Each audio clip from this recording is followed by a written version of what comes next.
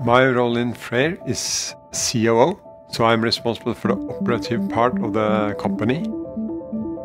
From a COO perspective, the most important thing it's really to develop a strong organization.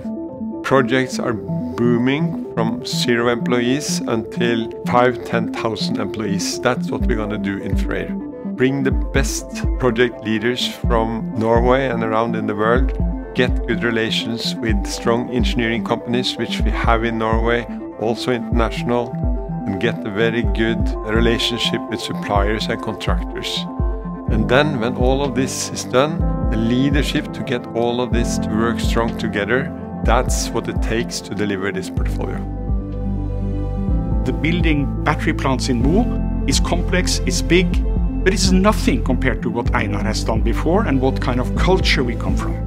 Einar is rock solid when it comes to executing projects. In Norsk Hydro, we built the biggest aluminium smelter in the world.